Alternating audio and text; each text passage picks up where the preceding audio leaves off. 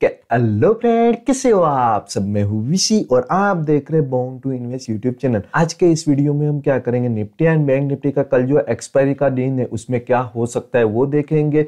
उसके support resistance find करेंगे। सो हमें क्या है कि एक ट्रेड करने में आसानी हो। तो अभी तक आपने हमारे चैनल को सब्सक्राइब नहीं किया तो सब्सक्राइब ज़रूर कर लीजिए, क्योंकि हम ऐसे वीडियो हर रोज, हर दिन लेते आते और जो बाजू में घंटे वाला बटन है, उसे ज़रूर दबा दीजिए, जिसको आपको हमारी नोटिफिकेशन सबसे पहले मिल जाए। और हम क्या कि इंडिकेटर पे सीरीज़ बना रहे, बाद में उसमें स्ट्रेटेजी ऐड करेंगे और अच्छा रिस्पॉन्स मिला तो प्राइज एक्शन भी ऐड करने वाले तो अगर आपको कुछ लर्निंग करनी है तो सिंपल सा तरीका है, आप हमारे इस चैनल के साथ जुड़ जाइए।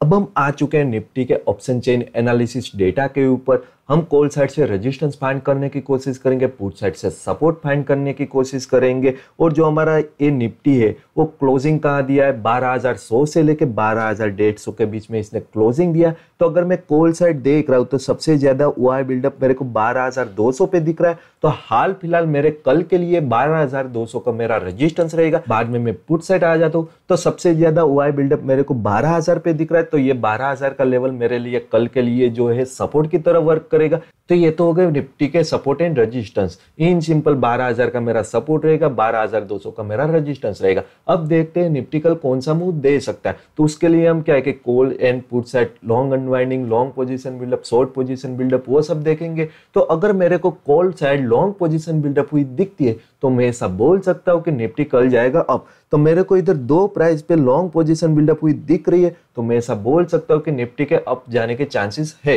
बाद में मैं पुट साइड आ जाता हूँ। अगर मेरे को put side long position buildup हुई दिखे तो मैं ऐसा बोल सकता हूँ कि मार्केट जाएगा डाउन लेकिन पुट साइड मेरे को कोई ऐसे लॉन्ग पोजिशन बिल्डअप हुई नहीं दिख रही है। बाद में फिर से हम कॉल साइड आ जाते अगर कॉल साइड मेरे को शॉर्ट पोजिशन बिल्डअप हुई दिखे तो मैं ऐसा बोल सकता हूँ कि मार्केट जाएगा डाउन तो कॉल साइड मेरे को शॉर्ट पोजिशन बिल्डअप हुई दिख रही है, ये दो प्राइस पे और इसके नीचे भी है, लेकिन एक माइनस आ रहा है, इसलिए दो ही बोल रहा हूँ।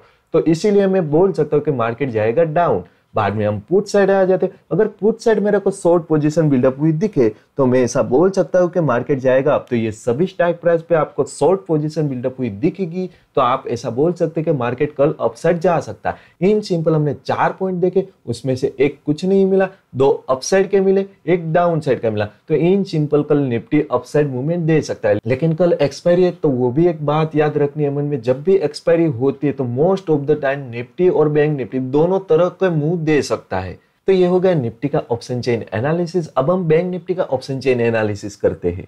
अब हम आ चुके हैं बैंक निफ्टी के ऑप्शन चेन एनालिसिस डेटा के ऊपर, जो हमारा बैंक निफ्टी है वो इकतीस सौ लेकर इकतीस के बीच में कहीं क्लोज हुआ। तो इसमें भी सेम रहेगा कॉल साइड से रेजिस्टेंस फाइंड करेंगे पुट साइड से सपोर्ट फाइंड करेंगे। तो अगर मैं कॉल साइड देख रहा हूँ तो मेरे को सबसे ज़्यादा ओ बिल्डअप बत्तीस हज़ार पे दिख रहे तो ये मेरा कल के लिए रजिस्टेंस की तरह वर्क कर सकता है। बाद में मैं पुट साइड आ जाता हूँ तो पुट साइड मेरे को सबसे ज़्यादा ओ बिल्डअप इकतीस हज़ार पे दिख रहा तो ये मेरे कल के लिए सपोर्ट की तरह वर्क कर सकता है। अगर मेरे को थोड़ा नज़दीक का सपोर्ट चाहिए तो मैं इकतीस हज़ार पाँच सौ का अपना सपोर्ट मान सकता हूँ। क्यों? क्योंकि इधर भी आपको एक अच्छी खासी ओआई बिल्डअप देखने को मिल रही है।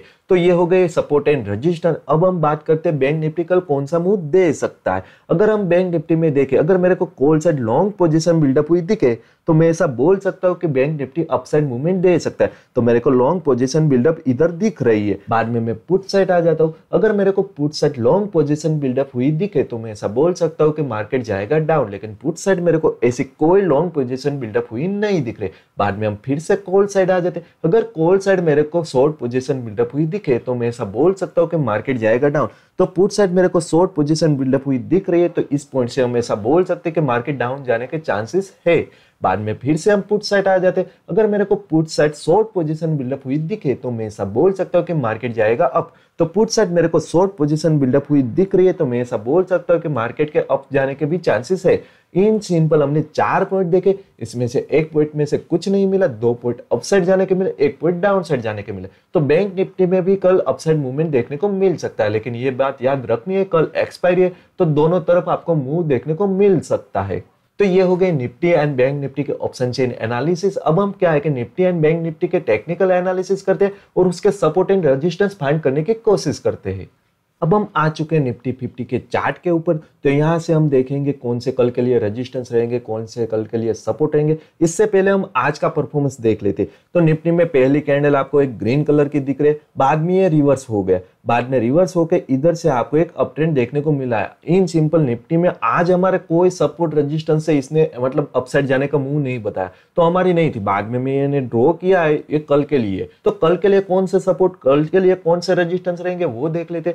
कल मार्केट ओपन होने के बाद अगर निफ्टी थोड़ा अपसाइड मूवमेंट देता है, बाद में ये जो लाइन है रेजिस्टेंस लाइन 12130 के आसपास है, वहाँ से आपको डाउन ट्रेंड के सिग्नल देता है, तब हम उसमें शॉर्ट में आएँगे। बाद में हम बाय में कब आएँगे? अगर हमें ये क्या है कि अपने जोन के पास मिल जाए, जो जोन है, वो कौन सा होगा? 12060 से लेके 12040 तक वो जोन रहेगा। अगर निफ्टी कल डाउनफॉल दिखाता है, अगर ये जोन के आसपास से रिवर्सल दिखाता है, तब हम इसमें बाइंग करेंगे। और एक पोजीशन है, वो देख लेते। अगर ये इसको ब्रेक करके ऊपर निकल गया, तब हम क्या करेंगे? अगर ब्रेक करके ऊपर निकल गया, थोड़ा रिटेस्ट कर से, इस लाइन के आसपास से अगर फिर से ऊपर जाने के चांस देता है तब भी हम बाइंग में आ सकते हैं। और इस लाइन के आसपास, जो हमारी एक राइजिंग रेजिस्टेंस लाइन है, अगर सडनली इतना ऊपर चला गया और इस लाइन के आसपास से अगर हमें सेल साइड का सिग्नल देता है, तब हम इसमें शॉर्ट में आएँगे। इन सिंपल चार पोजीशन बनी है। एक ये सपोर्ट जोन के आसपास है, एक है आपकी लाइन के आसपास रेजिस्टेंस लाइन के आसपास से नीचे आने का, एक है ऊपर जाके ये रेजिस्टेंस लाइन पे सपोर्ट लेके ऊपर जाए,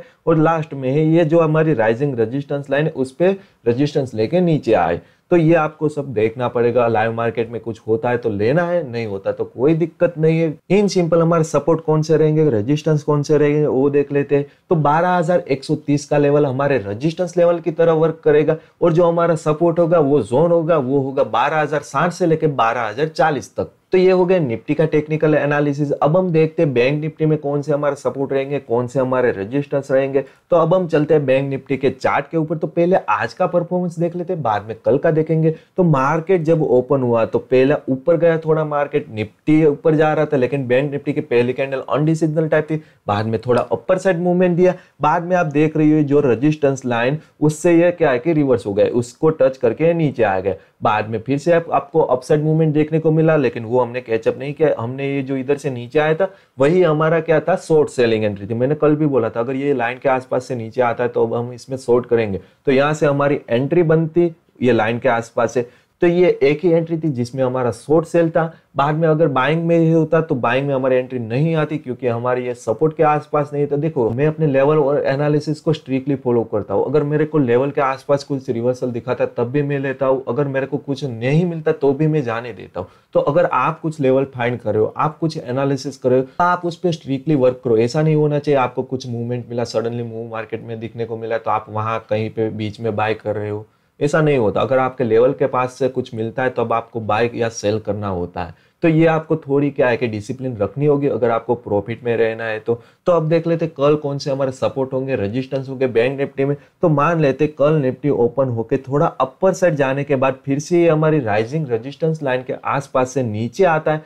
तब हम इसमें शॉर्ट में आएँगे। बाद में हमारे सपोर्ट की बात करें, मान लेते कल बैंक निफ्टी डाउन चला गया और इस लाइन के आसपास से जो है इकतीस हज़ार सात सौ पचास, उसके आसपास से रिवर्सल दिखा के ऊपर जाने का साइन देता है, तब हम फिर से बाइंग में आ सकते हैं।